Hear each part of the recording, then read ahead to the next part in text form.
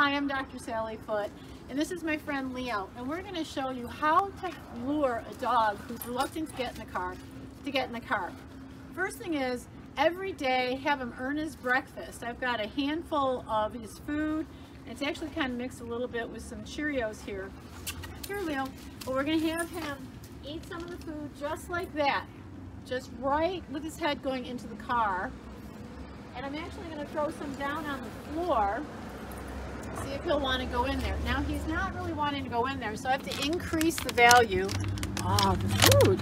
So we have some of these treats here. And what we're going to do is have him want to work to get onto the seat. Okay. Now he's still not choosing to eat it. When he's not eating it, it's his way of saying, ah, I'm not still so sure about this. It's still making me a little bit nervous. That's where we now are going to add in some help. This is the Adaptil spray, the mother dog calming pheromone. So you can, it needs to be absorbed through the roof of the mouth, so you need to put it on something like a bandana. And when you do, you need to spray about five good sprays on there. And we're gonna put this underneath his chin. Now normally I would wait about 10 minutes before, you know, giving this time to absorb. While I'm talking, it's gonna be doing some work. Now the second thing you also wanna do is also spray the seat back here in the car. So we get a lot of concentration of it. So when he goes in he's going to continue to inhale it. So here we go Leo. Let's see if we can get Leo to take the little treat now. Oh good. You want to come in here? Okay. Now he's not totally absorbed the Adaptil he's still not really he's like eh, I don't really want to do it. But let's say I've got to get him in the car. Either we have a trip to go to your annual veterinary appointment and right now it's taking about six to eight weeks to reschedule. Uh, maybe he's sick. Maybe he doesn't feel good. That's also why he doesn't want to eat. So how do I get him in the car without forcing him in? Because if we force him in, it's actually going to increase his anxiety.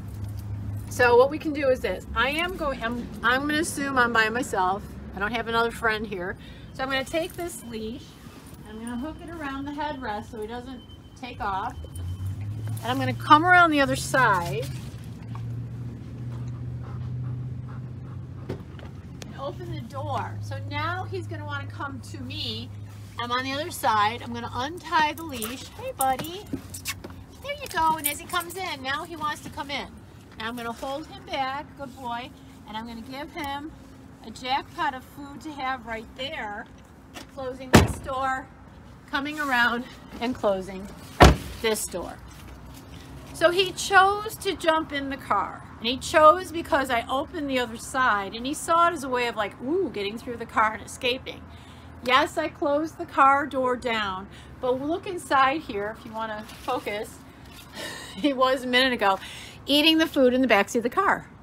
By giving him this time to eat that food in the backseat of the car, it rewards him for having gotten in the car. And this is some of the first steps of counter conditioning the dog to liking getting in the car.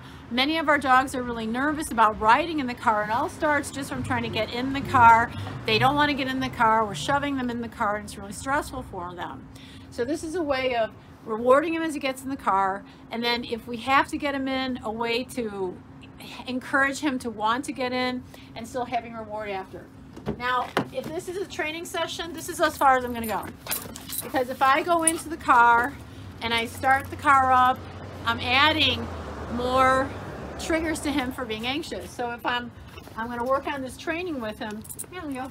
I am going to say, here we go, we're going to get some more treats and just have him eat the treats like this. So he's wants to stick his head in the car. He's doing the first steps of wanting to get his body into the car. This is how he's going to earn his meal every day for train. Look at there. See, now he's starting to learn to go in the car. And uh, by doing this every day, and he earns his dinner this way, this is how within about two or three days, we can have this 85 pound big breed dog choosing to get right up in the car himself. Yeah, you're not quite there yet, but you will get there. There you go. So follow these tips and uh, thank you. Look at Leo. Yeah, we've made this a game. Leo's loading right in. So within one or two times of just throwing food, little little Leo.